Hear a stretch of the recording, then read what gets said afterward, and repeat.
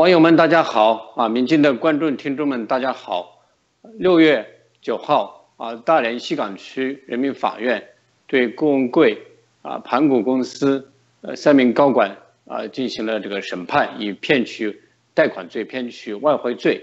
啊。整个的庭审呃在微博直播啊，然后这个文字呃也进行这个全面的记录。呃，我们看到这个各种的媒体啊也做到了。评论，尤其是《环球时报》啊，海外的很多的媒体也关注这件事情，啊，成为呃最热的一个热点啊。呃，他采取这种直播视频啊，全程的呃录放啊，也是在呃中国建国以来是是少见的一个案例，可见这个全社会对这个案子的关注啊。所以今天我们啊邀请了国内呃著名的维权律师，也是七零九的著名的。呃，人权律师啊，隋木青律师啊，来对整个呃庭审啊，呃，做一个详细的一个分析评价啊。我们知道，就是呃，这个审判呢啊，实际上是一个呃政治性的审判啊，实际上是因为郭文贵先生跟盗国贼们的这种斗争呢啊，引发了他们啊依法治国，就是用法律这种外衣啊，披着司法外衣对郭文贵进行一个。呃，批斗，当然这个是呃一种啊政治性的一种较量，在这种较量下，他的这个公司呃还有他的这三名高管就成为一个牺牲品，这是一个大的一个政治的背景。但是我们今天呃不会谈这些政治的背景，我们今天还是看啊在这个法庭的整个过程当中，它的程序的方面，还有这两个罪名呢，呃是不是呃是否构成这个啊这这两个罪啊这些问题呢？我们会详细的请教这个隋木青律师啊，我们将会呃从两个方面来谈这个案子，一个就是程序方面啊，就是他的呃管辖的问题，他的呃这个超期羁押的问题，还有呃这个庭前会议，还有在呃这个辩护人呐啊公诉人他们之间控辩啊，最后的陈述啊，整个过程呢到底符合不符合呃他当局他自己制定的这个刑事诉讼法。这是一个程序正义的问题，呃，其二我们会谈一个实质呃正义的问题，就是到底构不构成这个呃呃骗取外汇罪和骗取贷款罪？按照它本身的定义的话，啊，而且呃，就算他有呃违法违规的行为的话，呃，实际上应该是怎么样一个量刑啊？怎么样一个定性？这个事情是应该的啊。我们从实质上也有一个探讨。好，现在我们。呃，邀请这个呃著名的维权律师隋木青律师啊，隋律师你好，哎，郭老师好，啊你好，呃，因为这个案子呢，我其实也邀请了一些国内的一些律师，呃，包括那个呃很多人也建议把呃就是郭文贵案的这个辩护律师啊啊也取得联系啊。啊，但是这些努力很多呃都这个失败啊。呃，因为现在国对国内的维权律师打压是非常严重的，像你能够接受呃民间的访谈呢，呃是非常少有的。因为我接触了一些 呃维权律师，他们呃就是由于各种原因吧，他们就是拒绝啊，所以这个我是非常啊感谢你，也欣赏你的这个勇气。呃，刚才我们也讲了，就是说，呃，我们要从这个两个方面啊，呃，一个是这个呃程序方面，这个实质方面啊来看。呃，大连西岗区六月九号审判的骗取贷款、骗取外汇罪啊，他的这个案子啊，呃，首先呢，我呃，我们向你请教一个这个就是程序方面的问题啊，其实这个案子呢，呃，发生的地点完完全全是在北京，因为那个盘古是投资公司在北京，而且啊，他们所谓的骗汇啊，呃，还有这个骗取贷款呢，啊，主要的发生地在呃北京，但是。却恰恰是在这个大连啊来审判，这是一个非常奇怪的事情。所以他是不是这个有违这个管辖的这个精神？他为什么要选在呃大连啊，尤其是一个西岗区这个法院来审判呢？对。呃，关于这个管辖的问题，我觉得，因为这个案件我没有了解。比较详细的背景，呃，对，嗯，这个因为我我我也当时是粗略的看了一下这个，呃，官方的介绍，我没有很很仔细，呃，更多的做一些了解，嗯，那么我的粗略的感觉呢，就是说这个从呃发生在北京的事情，却由大连来管辖。这个西岗区法院什么背景我也没有了解过。那么肯定这里面嗯感觉不正常，对。呃，正常来说呢，就说你管辖地原则嘛，呃发发生地的原则啊来管辖，啊这样的一个原则。所以，而且呢是跨省来管辖，跨省管辖呢，大家都知道，中国是一个中央集权的国家，你肯定跨省是需要中央一级的层级。比如说，呃，如果他是原本应该由北京市公安局管辖的案件，如果是最先，因为我不知道是不是，呃，西岗区法院，呃不，西岗区公安局做的侦查，呃，如果是的。是的话呢，那么很可能，我想就是公安部直接来这个呃，应该就是公安部直直接来指定的。那么这个指定呢，在很多的时候似乎也有呃有道理，但是它毕竟不是一个常态，它是一个呃一定是要很特殊的一些案件。那么这个这样一个普通的一个刑事案件，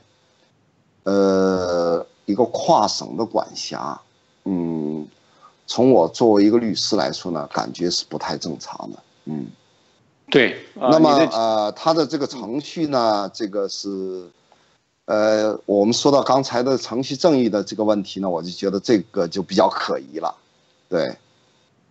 对，啊，你觉得他这个管辖确实是不太正常。你刚才也提到，就是呃，那个侦查机关呢，呃，是大连市公安局啊。呃，但是这不不，因为我不知道，我不能确定是不是对，嗯，呃，这方面就是郭文贵他自己的说法，他通过视频呢，呃，他认为呃刚开始那个专案组组长是傅政华，那是北京的公安在办案，但是那个大连市公安局也介入了，啊，所以刚才你那个呃说的很好，就是这一个很普通的一个经济案件呢，啊，居然这个公安部插手，然后这个外省的这个公安局插手，然后又在外地。这个法院来审判，呃，非常的不正常。这个就跟当时那个薄熙来重庆市委书记，他犯的事情应该在重庆审判，但是拿到这个天津啊，他实际上主要还是一个政治的，我想还是出于政治的考虑，就是呃减少影影响，或者是担心郭文贵在北京有一些呃势力啊，所以避免影响这个事情。我我因但但是这个就。显然是他违反那个法律的程序正义的，对，嗯，对，因为呃，像类似薄熙来那种案件呢，呃，不管在程序上是否很得当，那么在一个现实考量呢，我觉得还是从我个人角度，我觉得还是可以理解的，因为毕竟呢，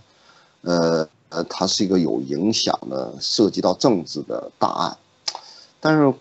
但是这个大连这个案件呢，我觉得就是个普。如果把如果我们在剥离它的背景的情况下，它就是一个很普通的一个呃非普通非常普通的一个所谓的经济犯罪案件。这样的跨省管辖呢，我觉得就不太正常了。对，对，就按照中国的国情也是不正常的。对，对，呃，第二个程序问题呢，就是他们。呃，超期羁押的一个问题啊，我们看到那个起诉书上，他是二零一五年七月啊，他的这三名这个呃主管呢，比监视居住啊，比抓捕，呃，还有一个是二零一五年四四月，就是说，呃，从二零一五年四月或七月呢，到现在已经整整两年了，呃，就是这实际上呃很明显的在羁押方面是呃超期，就是我想请教你，按照中国的刑事诉讼法。呃，正常的这个呃，从抓捕到呃起诉，呃开庭，应该是多长时间？按照法律的话，说到这个超期羁押的问题呢，我想解释一下 这个问题呢，我都一直没有搞清楚。呃，为什么呢？因为中国呢，它一般的规定是我记得好像是三个月，咱们六个月，我有点记不清楚，因为它没有意义，因为它会超期的时候，它。有各种的规定，啊，说哦，我可以向某一级某一级，呃，上级机关请示以后就可以延期，延期多久多久。我曾经跟一个非常资深的一个刑事律师呢，呃，刑事辩护律师也讨论过这个问题。我说到底他多长时间超期？他告诉我，他说他也搞不清，就是说他就说这个规定啊，他们就有很多的这种规定，在这方面呢，让他可以呃能圆过去这个超期。但是一般来说。比较长的，我们司法实践当中，一般比较长，你到六个月都已经是很长了。对，你说到两年，这个肯定，我觉得说，即使你最后能拿出一堆的东西说明说啊，这个没有超期，这个至少从我一个法律来说，法律人来说呢，我是不接受的。对，因为你因为中国呢，确实有一些法律这方面规定的，呃，这个它包括它一些内部的文件。的操作，呃，给了公安机关，呃，太多的随心所欲羁押一个人的权利。对，所以在这方面呢，就说，嗯，我们先不管他法律规定多长时间，法律不外乎天理人情。就一个案件，你侦查，比如说你到你能确定抓人的时候，基本上你基本的犯罪事实。你都应该搞得差不多了，对，而你还能关押那么久，这个呢，我是觉得是不能接受的，啊，这个就是说肯定，呃，任何一个案件，呃，不要说这个案件，任何一个案件，呃，我觉得都不太能接受，就是说，呃，中国的这样的一个羁押，呃，很多的时候呢，超期羁押是一个非常普遍的一个情况，呃。尽管官方可能会拿出来各种证据证明说我们，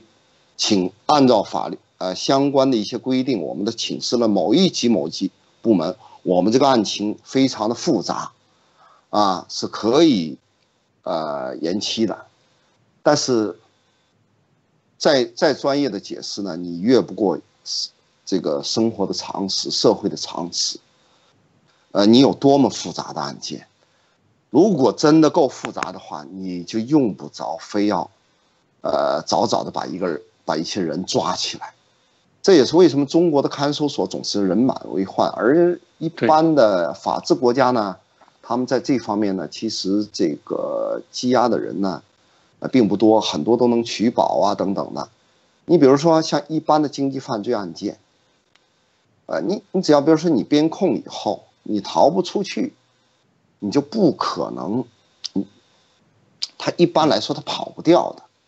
但是中国呢很少。我我在此呢，我就想到一个，就是说，呃，取保的一个问题。中国呢非常难取保，就是基本上取保就意味着你没什么事，就差不多很多的时候意味着你没什么事了，这个是非常不正常的。对，呃，在法律的实用上，这个这方面都是有问题的。那么在嗯涉及到郭文贵他们这个大连公司这个案件呢，我觉得这个北京北京官方 对北京公司，他不管官方他怎么解释，我觉得呃羁押两年这个肯定是严重的超期了，对，呃对你无论在情理上还是法理上都是说不过去的，嗯。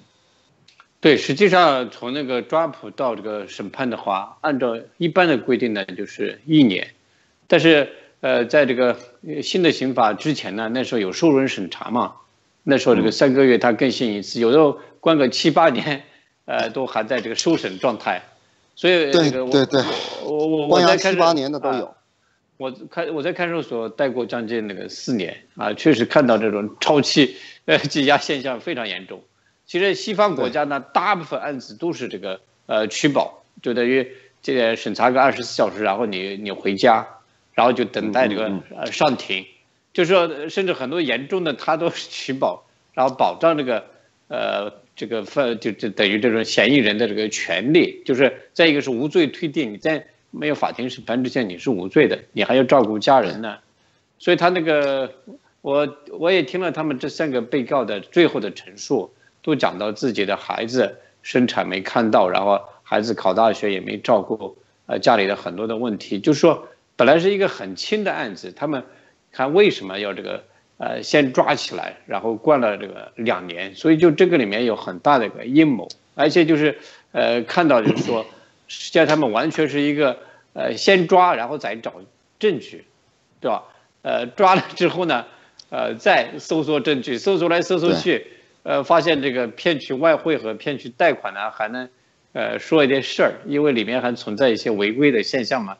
所以就说他们这种啊抄袭之家先谱，呃后后搜索证据，这个是非常的这个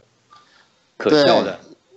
呃，是是是。我我第三个问题呢，程序方面的就是关于这个庭前会议啊，庭前会议在这个西方国家是呃很少的，就是在西方国家这个审理啊都是公开的，但中国现在最近几年好像是流行这个庭前会议，就是开庭之前，呃辩护人。各个方面的人，法庭公诉人，都联联合开一个会，然后呃达成各种的妥协。我看他们庭前会议上，呃达成的妥协是，呃证人不出庭，呃不出示主主要的证据，呃反正呃庭前会议完全是一个黑箱作业那种呃味道，就是什么事情都在庭前会议上解决了。我想问一下你，你对这个呃这个案子的庭前会议是怎么看的？对。呃，这个案件呢，庭前会议他们什么内容我不知道，但是我也经历过很多这种案件的庭前会议，因为办的人权案件当中呢，对，呃，起码有过那么几个要求提前开庭前会议，有的我就拒绝参加了啊，因为这个并不是一个法定的一个程序，而且呢，我们也知道他们要讲什么，其实呢，比如说就是你刚才讲的，比如说啊，你。一些证据不用出示啦，啊，证人不用出庭了等等，把这些东西，呃，怎么说呢？其实就是压服辩护人，呃，来顺从这个公诉人和法官的这种指挥棒，对，就说，呃，不能，辩护人不可以据理呃抗辩，对。就说你不可以据法抗辩。其实呢，呃，这个，在我理解呢，这个庭前会议，呃，现在我能看到的和呃了解的庭前会议，其实就是一个，我我我觉得是一个践踏这个法治的一个一个一个程序，对，而且是一个人为添加的这样的一个措施，一个实际上就是践踏法治的一个措施。呃，这个我觉得都没什么好说的，对，呃，这种庭前会议我觉得是非常糟糕的，嗯，对，庭前会议他不在不在正式开庭当中解决问题，对，却在庭前会议暗箱操作，对，这是非常糟糕的，嗯，呃，就是刑事诉讼法新的这个，它有这个庭前会议这一条吗？它它有这个程序吗？哎呀，不好意思，我没注意，好像没有，我我觉得没有，呃，不。他他如果有的话，我觉得那就是一个恶法条款，对对，就是说你没有必要，否则的话，这种公开的审判就没有什么必要了。那大家直接就呃几个人，法官呐、公诉人、律师，我们找个办公室，大家商量商量，就像随便聊天一样，哎，你讲讲 你讲讲理由，我讲讲我的理由，法官再总结一下就完了，就出个判决就完了。所以这个呢，我我我觉得是不符合公开审判、审判公开的原则的。呃，审判公开呢，它不是一句这个空话，因为有利于揭发真相，呃，避免黑箱操作。这个是这这种透明的这种操作方式呢，是符合法治的，呃，一种方式。对你，你庭前会议呢，它是一个秘密的一个，毕竟是个秘密的方式，对，它是不符合法治的原则的。对，呃，就是，而且公诉人呢，在这个开庭的时候，他也讲了，就是说，呃，以下的一些证据啊，他这可以把他的名字讲出来，但是他不出示，呃，就不出示这个在法庭上不出示证据，很多的证据他都不出示，呃，你对这个现象怎么看？对，唉，怎么说呢？我觉得啊。给我的感觉就是做贼心虚的感觉，因为我碰到过类似的情况。呃，像一般的像这种案件，呃，我也没想到一般的普通的，因为据我所知呢，现在普通的刑事案件呢，还是 应该说审理还可以吧，就说嗯不会太过分。呃，就说你要求的证据啊等等公开，这个问题都不是啊，嗯，在一些有一定敏感度的这个人权案件当中，呃，我记得曾经在我忘了是哪一个案件，嗯，当时这个那个那个公诉人在念证词的时候，他是选择他跳着念的，就是说他回避了一些字眼啊。就是新公民案，就是丁家喜那案件的时候，他就回避，比如说公民呐等等这样的一些呃字眼嗯，呃，但是这个不正常，就说明在法庭，毕竟呢，而且你们还封锁了法庭，是，呃，是一个变相的一个秘密审判，就没有必要，啊，你哪怕就说，哎呀，我我我我我们就是不讲法治，我们就是希希特勒也好，这个毕竟别人听不见。你没有必要这样搞，所以这个我也挺难理解。就说他们还是，呃，就说我理解呢，这个还是心虚。你不能，因为我们也开过很多普通案件的庭，那公诉人是理直气壮的，哎，大家该该讲什么讲什么。那我我们有的案件一看，哎，你你也没有多少好辩的东西，就说他他做的没有什么，他公诉。他那个公诉方做的，呃，从证据啊等等，他的这种，呃，法律意见呐等等，也没有多大的问题啊。你可能个别的从出于可能一个立场，可能会，呃，一些小的差距，呃，分歧可能会有，但是从根本上有很多都不会有太大的分歧。那么你能看得出来，他公诉人讲的时候也是很理直气壮的，对。因为我前不久就办过一个普通的一个交通肇事的案件，嗯，呃，他整个讲下来，我觉得公诉人的基调各个方面，我觉得都没有多大的问题。当然呢，呃，涉及到一个责任划分，肯定我们会有呃有分歧。那么这个都不是一个呃很根本性的分歧。那么大家讲一讲，把这个问题说清楚，啊。啊，我觉得就可以。所以你你在这样的一个普通案件当中，就说他没有什么问题的案件当中，你能感觉到他公诉人讲的时候，我觉得都是很理直气壮。法官呢也基本上，呃，我觉得也还大体上是做到了不偏不倚，啊。那么有一些案件呢，在这方面都还是可以，但是涉及到一些有一点敏感或者涉及到比如说公权力的案件，就容易出现这种偏。呃，很明显的偏向，经常我们可以看到，这个公诉人呢，呃，就比较怎么说呢？比较肆意的发言，啊，就说，就无所顾忌。比如说，经常随便就打断辩护律师的讲话。比如说，在陈云飞案件当中，嗯，呃，辩护人就随便可以打断，呃，我的讲话，呃，不是那个公诉人。公诉人，对，哎，对，法官呢就不制止他，但是我稍微一讲话，法官就要制止的。那法官在这个时候呢，就成了公诉人的代理人，你知道吗？这种情况呢，啊，就非常多。因为我们平常在法庭上，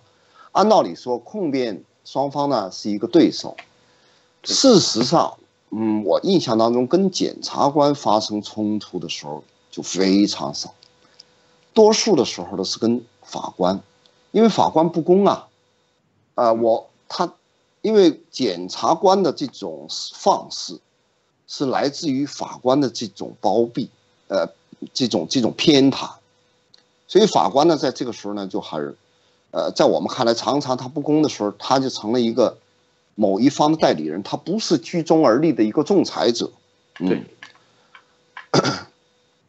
呃，所以刚才你讲了一下，就是说，首先讲了一下，呃，这个他为什么不出示这个证据，说明他们呃心虚啊。这个跟那个证人不出庭也是一样，像这个两个案子，呃，很重要的证人就是呃农业银行的那些主管啊啊，这这个贷款的那些人员呢，居然没有这个出庭啊，还有骗汇的话呢，外汇管理局啊，还有相关单位人员呢，都应该出庭，但是都没有这个出庭，啊，说明呃这个就像你的判断一样啊，他们这个里面呢有很大的一个猫腻啊，有很大的一些问题。另外，你讲的一个呃问题呢，啊，你你说你说，对，因为是这样的，因为呃，关于证人出庭的问题呢，呃，也确实呢，中国的国情呢，确实他们也有一个习惯的问题，他们确实是不大习惯于出庭，呃，但是，而且呢，有的时候证人出庭呢，有一些可能确实会有一定的困难。呃，但是一般我们还是作为辩护人，肯定是要求他要呃证人到尽可能出庭。那么我一般的做法是说，呃，我会有一些判断，就是说有一些对于我可以肯定他们出庭没有任何障碍，就是说比较容易，不会给他们呃造成额外的麻烦。比如说有一些都是在本地的证人，而且他们都是很正常的工作生活着，那么这种出庭接受讯问。啊，是非常有必要的，对，因为他的证词，尤其证人的证词，他就基本上决定了这个人能否定罪。呃，有一些可能相对来说不是那么太重要的，你说他一定不出庭吗？我说我也给予了理解，啊，呃，因为我我我没办法，我也有时候我要向现实妥协，嗯，但是有一些很重要、至关重要的。你无论如何，我觉得都要出庭，否则的话，你，呃，我而且我们对他的证言是非常怀疑，那么你一定要接受这出庭接受质证的，呃质呃质问，对，那么这个时候你不接受，呃，这个不出庭，因为我们在很多案件当中都碰到，说这不出庭，但是就根据他的证言，你没有接受过质问、质证的这种证言。就直接作为了定案的呃最重要的根据，你这个就很可怕，对。所以这个出庭的问题呢，我觉得是对于中国来说呢，呃，这个目前来说要推动这个制度上的进步呢，我觉得，呃，因为现在其实也是慢慢的呃司法在推行这个证人出庭，但是我觉得做的远远不够。呃，这方面呢，真的是非常重要。对，因为借这个郭文贵这个案件呢，我觉得也是应该，呃，特别强调这个证人出庭的这个问题。哎，对，要尽可能的证人出庭，尤其那些关键证人。嗯，对，呃，通过郭文贵这个案件呢，这个官方开始开始直播了，所以说啊，以后希望所有的案件呢。呃，都能够直播，这个就是一个进步。再一个是对对对，这个关键证人呢，刚才你说的，像这个农行审批这个贷款的那个主管人呢，啊，他们应该出庭，因为他是关键证人呢。还有那个呃，郭文贵他跟呃建呃这个城建公司啊有这个合同，所以他去贷款，所以城建公司的领导啊也应该出庭。这两个人是最关键的贷款的呃责任人。还有就是说这个。呃，骗汇啊，还有这个所有的案子当中，这个呃，把所有的责任都指向这个，主要责任都指向郭文贵，所以郭文贵他本人的这个呃证词啊那些是最关键的，但是实际上我们看到法庭上没有，实际上他们法庭应该呃发一个函嘴气吧，叫叫这个郭文贵呃解释一下，你搞一段视频啊，对吧？但是他们就是呃出于一种。呃，什么样的一种心态，就是没有将这个郭文贵本身的来，呃，作为一个辩护方，所以，呃，你看郭文贵他自己，他连个辩护的权利都没有，呃，这是一个他应该作为一个证人，对我，我觉得郭文贵起码应该作为一个证人，对，对对对，呃，然后你刚才讲到一个很重要的程序的问题，就是，呃，控辩这个双方啊，就是公诉人和这个辩护人。这两个呢，应该是一个平等的关系。你们俩在那里呃控辩，然后法官呢作为一个仲裁者、中间人来判断谁是谁非。但中国你知道这个呃政法委领导下就是公检法是一家，公检法联手来对付这个被告人、对付这个辩护人，是这样一个状态。所以我们从这个六月九号这个案子当中呢，呃，其实呃你你也看到，就是他们这公诉人和这个法官呢实际上是连成。啊，一体啊，他们来呃对付这个辩护人。当然，辩护人呢，呃，在这个控辩阶段呢，也呃，我看呢，他们也这个也做了很多的一些有效的辩护啊。但是这个有效辩护主要是在这个罪轻啊，呃或者减轻啊，呃量刑方面做了一些辩护。但是对这个事情到底有没有犯罪，他们还是这个呃完全的承认啊，也对这个公诉人呢。呃，没有一些这个激烈的一些对抗啊，呃，你对他们这个恐辩的这个过程啊，那些，呃，我不知道你看了没有，然后你呃，大体上你有一些什么样的一个影响？对，嗯，因为哎呀，不好意思，这个我确实没有看，对我我只是简略的看了一些官方那个报道，它前面的说明。我印象比较深的呢，就是他骗贷三十二亿，归还了四十亿。对，呃，我当时我我在没有细想的情况下，我第一个强烈的感觉，我说这个不够上，够不上犯罪的。对，嗯，呃，一般来说呢，这个骗贷，嗯。这种骗贷呢，通常他是说，呃，他有一个说，呃，用一个虚假的手，呃，比如说作假的手段，来骗取贷款呢，给受害一方造成了重大的经济损失，啊，比如说不能归还贷款，还有或者其他的重大情节，这个其他的重大情节我就搞不清楚到底是哪一些情节。这个呢，就是给人感觉呢，就容易变成口袋罪了。对，就说你你其他的重大情节到底是哪一些？这个最高法院司法解释我没有仔细翻过。对，呃，它应该有一个限定。你在这里呢，应该有一个类似限缩方面的解释。呃，你不应因为这种案件呢，就很容易扩大解释。对。嗯，本身这种骗贷，这个我要我理解，如果，呃，你说这个骗贷呢，它主要还是一个怎么说呢？呃，按我平常这种办案的了解，嗯，通常都是一些不合乎，呃，这种银行的一些规定，那么银行放贷的规定。但是银行这些放贷的规定，其实呢，呃，有很多条件是比较苛刻，或者说很不合理的。那么他在决定放贷的时候，他们其实最重要的是要考察你有没有还贷的能力。那么放贷的人他会有考察，他会有自己的一个认定。那么很多的时候他认定，他经过考察，他认定说，呃，这个贷款人其实是有能力归还的，但是他。不太容易做到符合那个他们银行规定的放贷条件，那么这个时候呢，都难免会有一些作假，就说其实很多这种作假是，呃，放贷人和贷款人都心知肚明，或者说双方都是有默契的，对，很多的时候都是因为你你你想去骗银行啊，这个我觉得 是相当难的，对，事实上是相当难的，因为中国呢，你知道。这个很多都是把那个，因为这个贷款呢，主要都是集中在国营的公，呃一些大公司，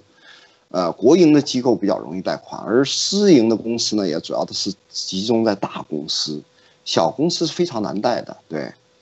那么它其实为什么难贷，就是因为它有很多卡着的一些条件。那么即使呢私营的大公司，他们也是常常。呃，虽然它具有还贷能力，但是它可能不符合它某某一些银行的呃那种官方的放贷的这种呃规定，所以这个时候呢，他们就要变通一下啊。很多据我了解的是，很多这种所谓的骗贷都是双方都是心知肚明的啊，因为你要骗银行，真的是嗯，我觉得是相当难的。那么有的呢？是造成了银行的损失，那就是什么？贷款人跟内鬼勾结，有的呢，就是像这个案件，我觉得他贷了三十二亿，归还了八亿，呃，归还了四十亿，多归还了八亿，那我觉得这是一笔很好的贷款生意。对对。那么在这样的情况下，我觉得说，因为比如说。他这种骗贷呢，就是说你是要同时两个条件都要满足，比如说，你这个你用一个不正当的手段，呃，欺骗的手段来贷啊贷款，还有这个造成了损失，有受害人，这两个条件要同时满足。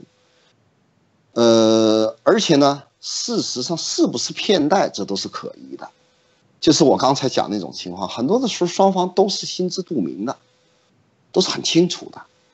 那个如果双方都清楚，但是不合乎银行的这种规定，那就不叫骗贷，对，那就不叫骗贷啊，那是一个双方的一个默契，只是说规避了国家的，呃一些统一的管制，啊，因为事实上中国呢，因为是一个是一个统治经济的国家，那么，呃，政府对于这个企业的经营是有一个高度的干预权利。那么只是双方可能避开了这个政府的一些，呃，规避了政府的这种，呃，一些不合理的管制。那么达成了一个默契，都有都有可能有这种情况，啊，也有可能是双方勾结，来来来来规避政府的管制呢，骗贷。但是这个案件当中就没有这，就是没有这种所谓这个，呃。规避骗贷，然后谋取个人私利，呃，个人利益的问题。那么，因为毕竟你归还了四十亿，啊，呃，连本带利都一块归还了，这在目前中国，我觉得都算是非常好的一笔贷款生意了。很多国企，我据我所知是根本借了钱是没法还的，对，包括地方政府，他根本无力归还，所以这个时候银行就成了这个地方政府和一些大国企的提款机。那么他作为一个私营公司，他是没有这个能力，呃，说说所谓赖着不归还，那么有人归还了，这，我觉得是，从我个人感觉是这个是，是一笔很好的一个贷款生意，呃，根本我觉得是不应该追究什么犯罪的，对，他没有这个，因为没有社会危害，嗯，是是是，对，关键是没有社会危害，不好意思，嗯，对那个。呃，就是是犯罪的社会危害性啊，但他没有因为你犯罪要讲究社会的危害性嘛，啊，他只是说，呃，如果是一定要说什么危害呢，我只能说可能会让一些官员心里头有点不爽，这可能是唯一的危害，啊，别的我就看不出来有什么危害了，对，对，昨天那个。郭文贵在他的视频里也讲，就是说北大方正他这种呃贷款不还呢，呃这种不良的贷款呢，那就是多如牛毛。但是这个没有从来没有没有展示过，尤其是那个海航最近他披露出来的，呃就是王岐山家族长期呃经营的这个海航啊，他就是直接是呃各种名义只拿到款，然后就是从来不还，所以造成他的这个万亿的呃资产是将全都是从国有的银。行拿过来的，是你呃为什么不披露？然后单单把这样一个呃贷了款然后还了的，呃，我们那个再再回到那个程序的一个问题，刚才有一个问题啊，呃，没有问到，嗯，就是说，双方并没有平等啊，这个是因为这个开了这个庭前会议之后。呃，基本上把这个孔方辩方怎么说啊，都好了，在演戏啊，所以就是说，虽然演了，就是呃，这个呃互相的辩论呢，最后还有这个呃最后的陈述啊，整个戏啊，就程序方面看起来还还还还不错，但是实际上你看到他这个辩护人呢，他辩护的很微弱。但是我我现在问的一个最后的一个有关程序的问题是，就是关于公司的实际控制人的一个问题。我在那个刑法刑事诉讼法上，我就就是没见过什么公司实际控制人这样一个法律的术语。后来有人提示，就是说，在目前的中国的民法和呃公司法律确实存在这个词，就是公司实际控制人。按照我对这个刑法的理解的话，你如果公司犯罪的话，那承担责任的是公司的法定代表人，就是法人代表要承担责任的，对吧？呃，你无论什么原因，呃，但是你公司犯罪，你肯定是法人代表啊。但是你现在看到就是，呃，这个盘古市投资公司，他骗汇骗贷，他的法人代表是一个叫马成的一个人，这个人呢根本就没有出现，但是他们就把矛头指向这个 郭文贵这个实际控制人。你看这个公诉人呢，他这个三番累次的，就是呃向这三个被告问，就是郭郭文贵是不是公司的实际控制人？什么是实际控制人？他还主动的提示，就是公诉人给这些杨英啊这些被告人。就是一定要让这个全社会都知道啊，这个郭文贵是盘古石公司的实际控制人，而且这个实际控制人就应该承担法律责任。所以我向你请教了一下，这个公司实际控制人啊，他在这个刑法上到底能不能做一个法律的主体？对，呃，这个问题啊，还真是一个问题。那个，呃，因为我就我。我以前真没有注意到这个问题，就是说这个问题呢，因为我看到的条文当中，嗯，是没有提到什么公司控制人的这个责任的问题。对，呃，那么你因为法律呢，这个无论刑法还是民法，它都要有一个一致性的问题。那么我看到的很多这个经济犯罪，包括这个。呃，这个这个这个叫什么骗取贷款罪都没有一个所谓实际控制人这方面的一个表述，但是，嗯，我有一点看法跟郭老师您这个可能有点不一样，就是说，嗯，呃，我的看法呢，公司控制人的责任是可以追究的，啊，因为事实上现在这个是公实际控制人是存在的，但是。第一，你要证明；第二，就是说，公司控制人的责任并不能免除，呃，所谓这个其他的，比如说一些公司这个现有的公司的这种，呃，其他高级管理人员的这种实际上的责任，他并不是说，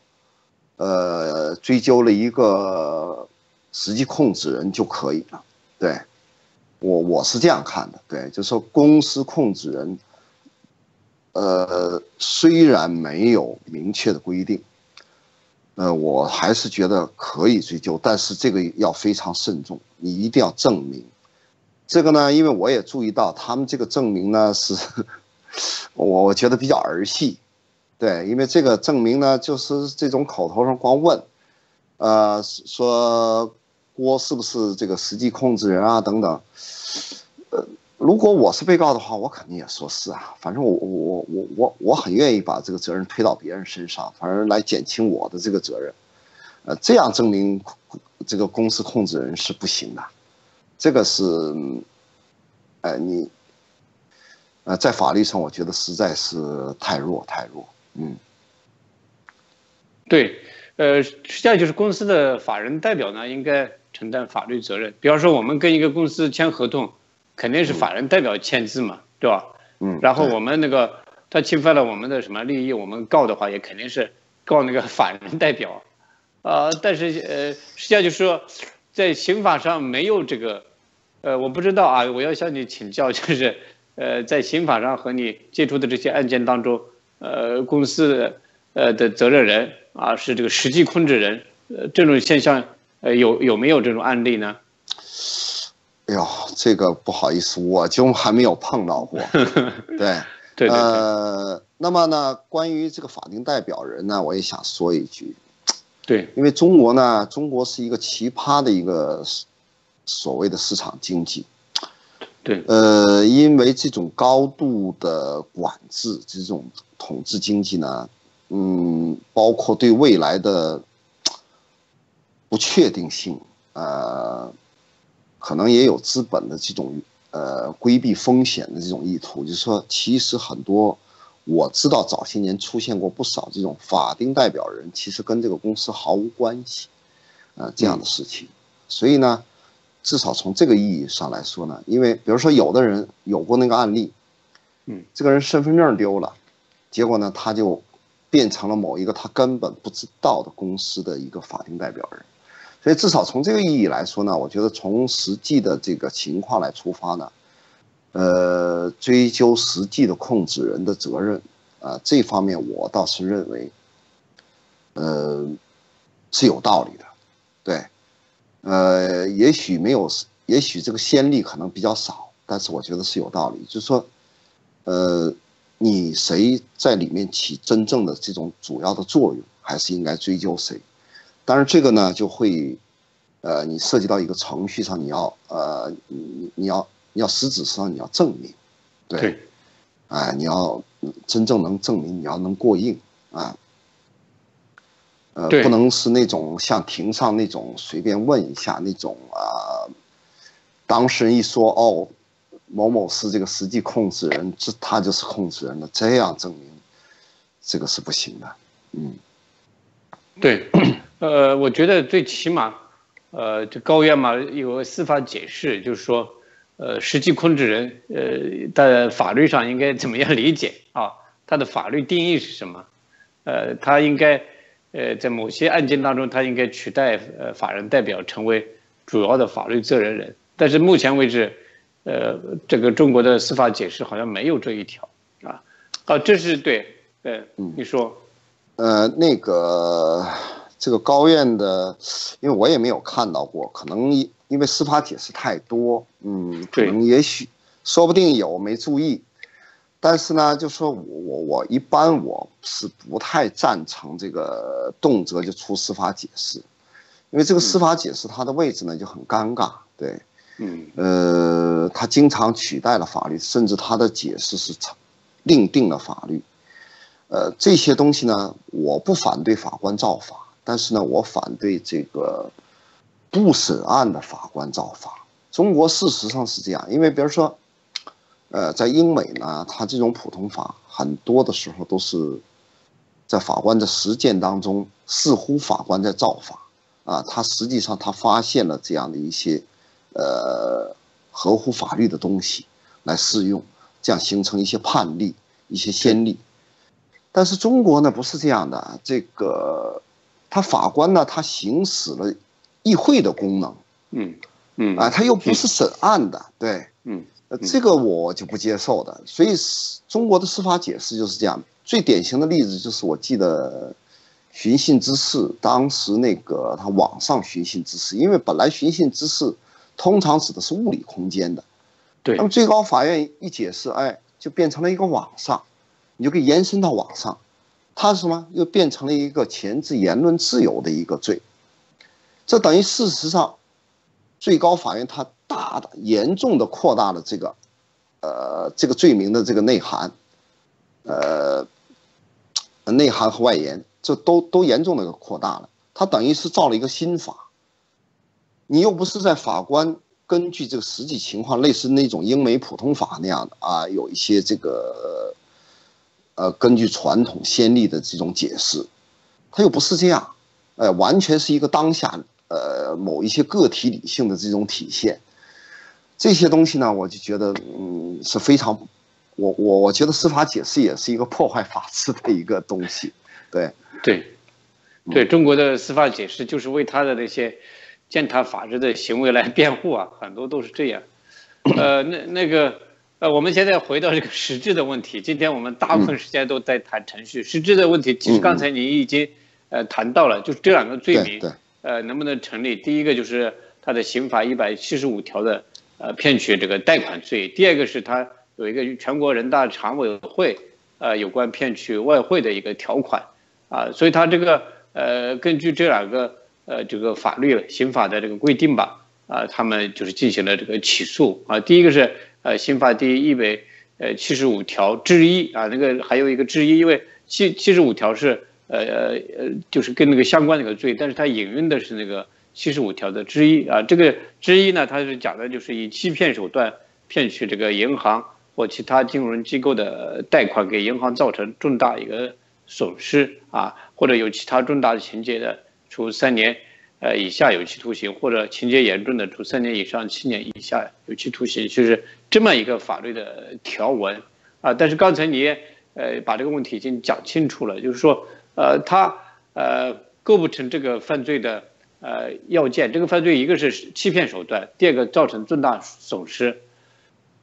根本就没有造成重大的损失，而且是一个很优质的一个贷款和这个还款啊，给这个国家社会啊，呃，实际上是不仅没有损失，而且带来了很多的福利成果啊。第一个欺骗的手段呢，这个呃，实际上呃，你刚才也说了，就是中国的这个贷款因为呃非常的苛刻啊，违反这个常规，所以。呃，有的时候不得不呢跟这个银行合谋啊，来做一些这个事情，把他的这些法律手续来补全。对，变这个啊变 通，这个最突出的表现呢就是，呃，顾文贵他跟那个城建公司啊，啊，也不要说顾文贵，就是这个盘古石公司跟城建公司，他签订了一个正式的一个合同，啊，这个正式合同，呃，盖了人家的这个正式的章子，但是后来因为呃银行很苛刻的条件呢，必须把这个合同拆分成四份儿，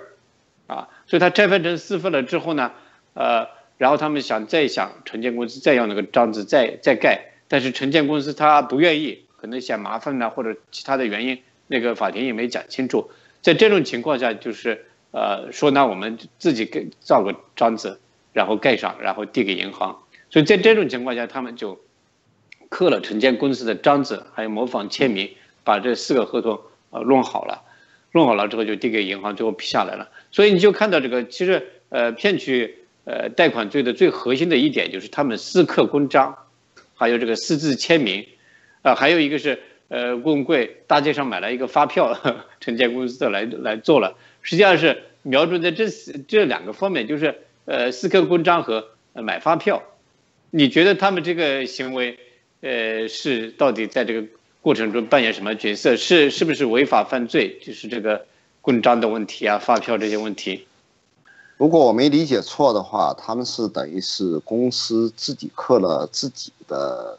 公章，是吧？啊，不是自己的，是那个对方的，是个城建公司的，就是，呃，嗯嗯，他们建设公司的，不不是他们公司，呃，但是条件是这个这个城建公司呢，提前跟他们公司有一个正式的合同，也有个正式的公章，后来这个正式的一个大的合同呢，为了满足银行的贷款条件，他们拆分成四份拆分成四份之后需要盖四次章的时候，那个承建公司呢，好像不知道什么原因不答应。不愿意再盖，可能嫌嫌麻烦，就是我我们已经签合同了，你现在怎么又冒出来四个？啊，在这种情况下，他们就是私自呃造了四个然后盖的。嗯，当然这个是法庭的陈述，到底事实真相是什么不知道，我们就按照法庭的陈述来呃说一下，他们四刻公章啊，这个是是犯犯罪还是什么违违规？对。呃，这种的呢，我觉得肯定是违规违法的，这个是毫无疑问的。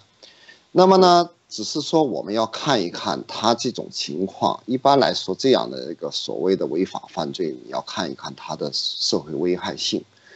那么他的目的是想干什么？对他的目的呢？如果是他是为了一个合法的目的，我觉得这样的一个行为仅仅是一个普很普通的一个违规违法行为。那么你可能比如说啊，一般的嗯，行政上，呃，什么处那那种什么警告啊，类似处罚一下，一般的那种处罚一下，我觉得就够了啊，因为这个，呃，因为你是为了一个违法的目的，或者是已经造成了什么损害，呃，是呃别人的这个损失。那个这个性质都是完全不一样的。他我觉得单纯一个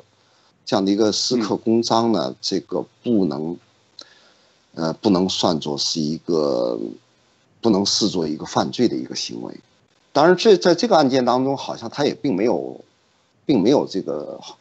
我印象当中好像也没有把它定为一个犯罪。对对，没没有没有私刻公章罪，没有对对对对，他可能就所谓的吸收了啊，在这个所谓重罪吸收轻罪，而且即使所谓构成犯罪呢，他情节又显著轻微，也是没有必追究的一一种行为。对，所以在这个问题上，我觉得倒不是一个很大的问题，因为中国呢，呃，这种畸形的市场经济呢，搞了这么多年。呃，公司经营当中，可以说，我觉得，不说百分之百吧，我觉得绝大多数公司，可能都会有一些不不规范的经营行为，对。那么我们还是要看一看他们这个这些行为的指向，比如说是一个违法的一个目的啊，还是一个一个合法的一个。呃，合法的一个一个目的，这个这个是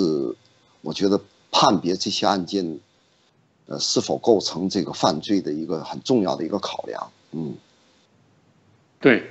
呃，因为时间的关系呢，呃，我们呃今天呢就啊可能谈的不多啊，我们会有系列的一个谈把这个案件。呃，这一周呢，在民进网，呃，还有呃几个这个律师呢，我们会这个登登台阐述这个案子，啊，就是最后呢是这样的，就是呃，我们知道就是呃，整个法庭的表现呢，啊，这个无论是这些被告人还是他们的辩护人，啊，都认为他们有罪，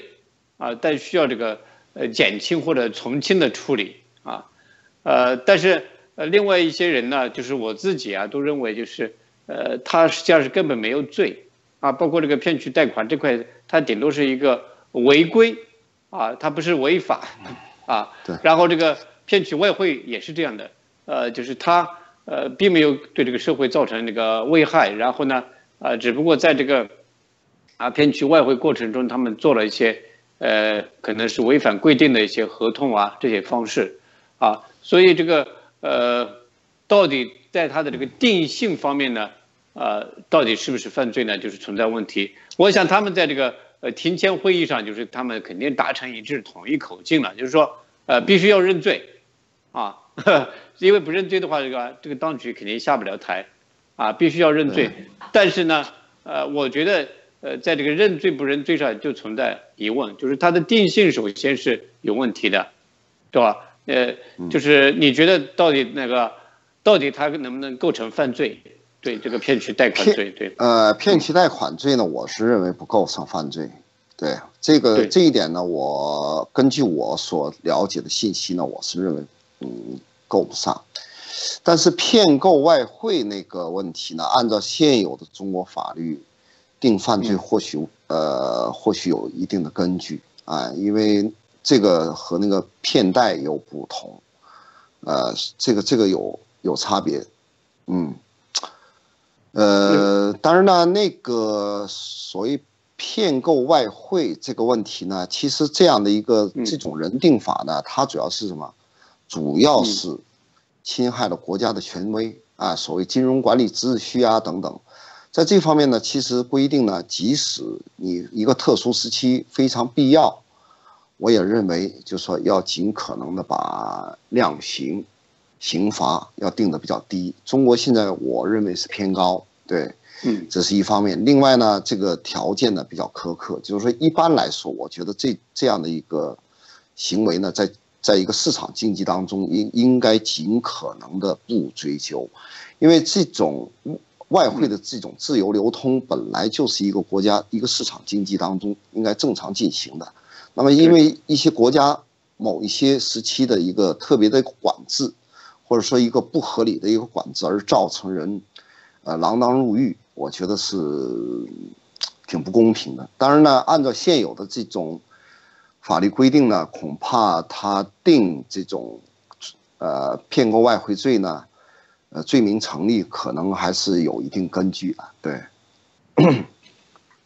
对，呃，总而言之呢，我们就是呃请教这个隋木清律师啊。呃，将近一个小时。他呢是一个资深的一个律师，已经从业了二十多年，啊，无论是呃经济案件、刑事案件，还有这些人权案件，所以有丰富的经验。啊，他今天呢从那个程序和这个实质这两个方面呢，呃，剖析了大连啊西岗区法院的呃这个目前的案件。啊，程序方面我们知道就存在很多的一些漏洞，从管管辖、超期羁押啊，还有公司的实际控制人，还有。控辩双方的这个不对等地位，还有这个呃所谓的庭前会议啊，啊这个程序方面确实呃就本身是不够正义啊，不符合这个呃法律的这个法治的精神。就实质来说呢，这个隋律师他也认为就是呃骗取贷款罪是将呃顶多就算一个违规啊，里面呃可能有一些像当局指控的就是呃